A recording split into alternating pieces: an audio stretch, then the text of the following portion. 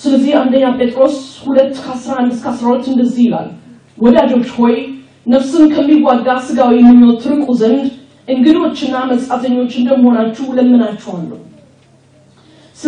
ስለሚመለከቱት ስለ መልካም ስራችሁ ክፉ እንደምታደርጉ በዚያ እናንተን በሚያሙበት ነገር በሚገኝበት ቀን እግዚአብሔርን ያከብሩት ዘንድ በአሕዛብ መካከል ኑሯችሁን መልካም ይሁን ወንድሜ በትዳር ውስጥ ጸንተህ ስትኖር ያውም አስቸጋሪ ሚስትን ያገባኸው ሊሆን ይችላል። ሆኖ እኛ ሴቶች አስቸጋሪዎች ነን አይደለም ከኛ ጋር መኖር እኮ አደገኛ ነው።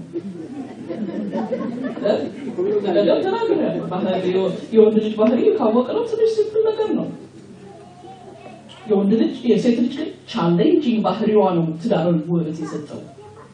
ሌላ ጊዜ እንነጋገራለን እሱም ግን challenging ባህሪዋ ነው ለትዳር ህይወት የሰጠው የሚደንቀው ነገር እሱ ብቻ ሳይሆን ለወንድም ህይወቱን interesting ያደረገችው እሷ ናት ባህሪዋ ነው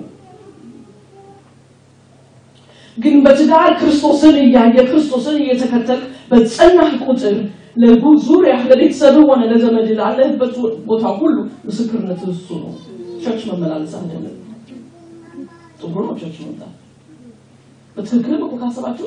church በእርግጥ የተመሰረተችበትን motive እኮ የተመሰረተችው እኮ ይወጡና ተንከራተው ባዝነው ተደብድቦ ወንጌል ሰብከው ተገናኝተው የሚጽናኑበት ነው። ተባብለው አንድ ሳምንት ከሰኞ እስከ ቅዳሜ ይጨነቁና እሑድ ይገናኙና አይዞ ወንድሜ ጌታ ግን ይመጣል። የሚባባሉ እንደ ዛሬ እኮ መተን ዘማሪት መዝሙር ነው። ምንልበት እኮ አልነበረም የ church የተመሰረተበት motive ተንከራተን ይህ ዓለም ጠልዞን ጠልዞን ጠላት አሳዶ ከዛ እውነት ሰብከን ሰብከን ሰብከን ሰዎች የተለወጡ ከዛ ከመተን ተሰባስበን አይዞሽ ጌታ ይመጣል።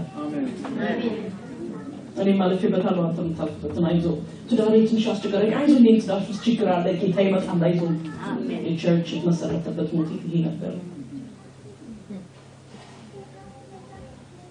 ብዙ ጊዜ በመዝሙራችን አይደለም ዓለም የምትደነቀው? እዚህ ላይም እግዚአብሔር ቃል ሲናገር የእግዚአብሔር ቀን በሆነች ቀን። ያ ማለት የመጨረሻው ቀን በሆነች ቀን። አሕዛብ ጌታን የማያውቁ እግዚአብሔርን ያከብራሉ ምን ብለው ስለ እኛ በስራችን።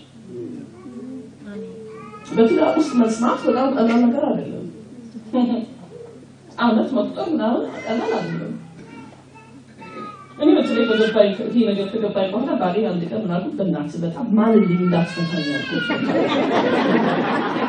ፈርድልኝ እንዳትፈታኝ ባህሬ ሲገባኝ ማለት ነው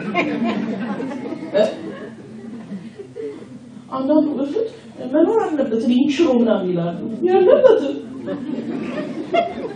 እውነቱ እሱ የለበትም